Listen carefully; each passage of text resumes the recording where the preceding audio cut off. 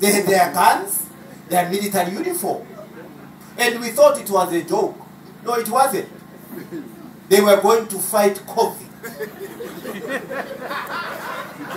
now, they are going to fight COVID. COVID is invisible. But they are going to fire bullets to shoot what? COVID. COVID. I know it doesn't make sense, but it makes sense. He says, Today I set you out to fight COVID. You will fight COVID. And they fought it. They fought COVID. So, this is what I want you to see. He sends them out to fight COVID.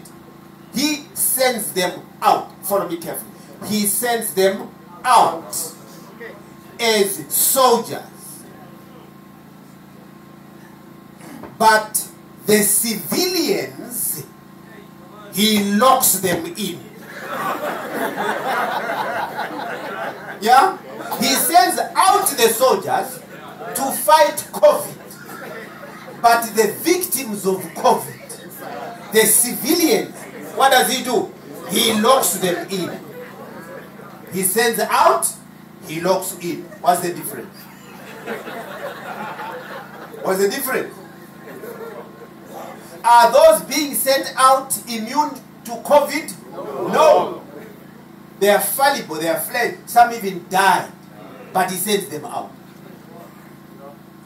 Those who are locked in, they are considered as victims of COVID. To be protected from COVID by soldiers with a gun.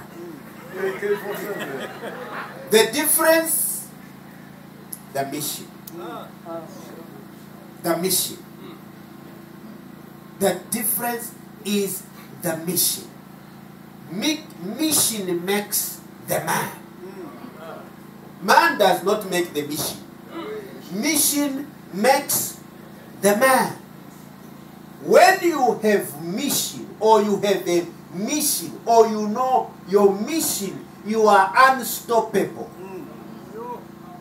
You are unstoppable. I have a friend, he's a soldier, one of the top few. I said to him, Tell me, what's the difference between a civilian and a soldier? Guess what he said? Mission. That's all. He said, Mission. That's the difference between you and me. I am here. I have a mission to defend South Africa. That's my mission. It makes a difference. It changes my whole world. He says, you know what? I can pack my bags, kiss my wife and children goodbye, and say, I'll see you later. When I know very well I may never come back alive. But because of my mission, I'll walk away from them. Are you with me? Yes, in the church we say, the man is a priest of the family. Always gather them to worship. No, no, no. In soldier, soldier work, the man is not the priest of the family. He's the defender of the family. He will walk away from them. Now, the point I'm making is that it's mission. Mission. Mission. Daniel, you said dare to be a Daniel. Daniel had a mission. He was a man like us, but he had a mission. And that mission is what made the difference in Babylon. That's why he was different. He had a mission. Without mission, you are a commoner. You need to be defended. You need to be protected. With mission, you go out. Now let me come back to the slogan. Step out, step on, and step ahead.